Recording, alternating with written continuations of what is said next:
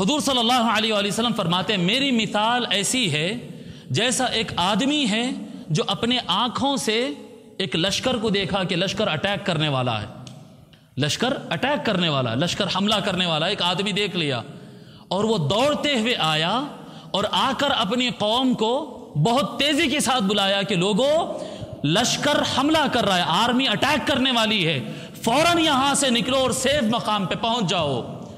जब उसने कहा कि अपने जानों को बचा लो तो उस बस्ती के अंदर कुछ लोगों ने उसकी बात मानी और फ़ौरन निकलकर महफूज मकाम की तरफ़ कूच कर गए।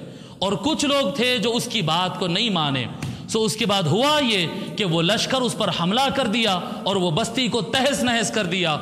जो उस बुलाने वाली की बात को सुन लिया, बस वही नजात पा लिए।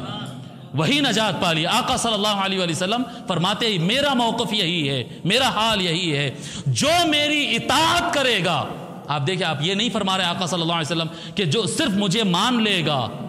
जी, लफ्ज देखिए आप फदाली का मसलु मन अतानी मन आमना भी नहीं है। ये नहीं फरमा रहे आका सल्लल्लाहु अलैहि वसल्लम, जो मेरा कलमा पढ़ लिया, वो दुनिया में अब नजात पालेगा। नहीं फरमाया का मसल मन अतानी फतब जो मेरी बात की इतात करता है और मेरी मेरे बताए हुए रास्ते पर चलता है, अल्लाह तबारक व इस दुनिया में उसको नजात अता कर देता है। और जो मुझे मानता तो होगा, पर मेरी बात नहीं सुनता, वो इस दुनिया में खुद तबाह हो जाएगा। इस दुनिया में नजात चाहते, भाई, आखिरत के फैसले अलिया ने ये लिखा है, कि क़ियामत के दिन के फैसले तो ईमान की बुनियाद पर होते हैं। ईमान की बुनियाद पे होते जिसके दिल में ईमान है, वो जन्नत में जाएगा। जिसके दिल में कुफर है, वो दोजख में जाएगा।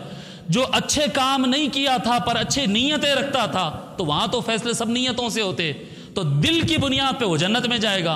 कितने लोग होते मस्जिद पे मस्जिद तामीर कर रहे होते लेकिन उनका मतलब था पब्लिक में रियाकारी करना। तो मस्जिद तामीर करके भी वो दोजख में जाने वाले होते क़ियामत के दिन के फैसले नीयतों की बुनियाद पर होते दुनिया के फैसले नहीं।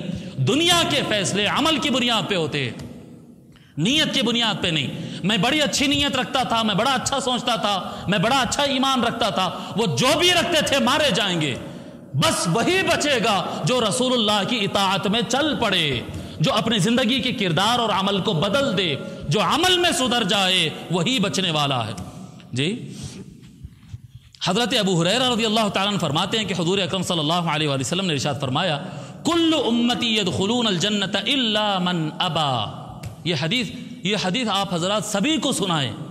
सभी को सुनाए, आप आम, ना खास, जुमा के मौके पर, हर जगहों पर ये ये हदीस ज़रूर सुनाए। फरमाते आका सल्लल्लाहु अलैहि वसल्लम, मेरी सारी उम्मत जन्नत में जाएगी। सिर्फ़ वो लोग जन्नत में नहीं जाएँगे जो जाना नहीं चाहते। कौन जन्नत में जाना नहीं चाहता? ये हुजूर का फरमान है, मेरे अपने अल्फाज नहीं, सही बुखारी, हदीस नंबर सात हज़ार दो सौ अस्सी। क्या फरमा रहे आका सल्लल्लाहु अलैहि वसल्लम? मेरी सारी उम्मत जन्नत में जाएगी। सिर्फ़ मेरी उम्मत में से वो लोग जन्नत में नहीं जाएँगे जो जाना नहीं चाहते। सवाल किए साहब, या रसूल अल्लाह वमैया अबा या रसूल अल्लाह जन्नत में नहीं जाना चाहता है सभी कोई आदमी है? कौन है जो जन्नत में नहीं जाना चाहता है? आका सल्लल्लाहु अलैहि वसल्लम फरमाते, मन अतानी दखल जन्ना, जो मेरी इतात करता है, मेरे हुक्म पर अमल करता है वो जन्नत में दाखिल होगा। वह मन आसानी फ़कत अबा। और जो मेरी बात नहीं सुनता है, वो जन्नत में खुद जाना ही नहीं चाहता तो हम क्या करें? या आका सल्लल्लाहु अलैहि वसल्लम फरमा क्या फरमाए? वमन आसानी फ़कत अबा। जो मेरी बात नहीं सुनता है, मेरी इतात नहीं करता है, बात सुनता है, नजरअंदाज कर देता, मासियत करता है, वो खुद जन्नत में जाना नहीं चाहता। आका सलाम मसला क्या है कि हमारे पास ईमान की बात होती, ईमान बहुत, यानी सबसे अहम तो ईमान है। अमल बाद में है। मगर जब हम अमल बाद में कहते हैं ना तो हमारी आवाम ये समझ लेती कि ये ज़रूरी काम नहीं है।